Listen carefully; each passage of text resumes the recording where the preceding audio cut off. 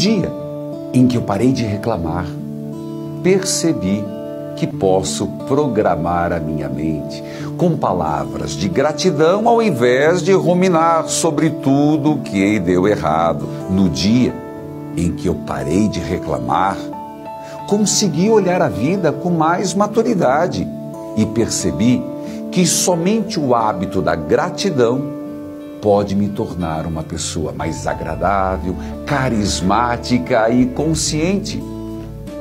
E que somente o contentamento e a resiliência podem estimular dentro de mim a paz que tanto almejo.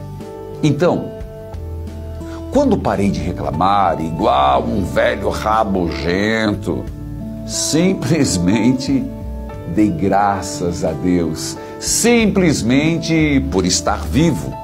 Pare de reclamar e descubra quantas coisas boas Deus já lhe deu.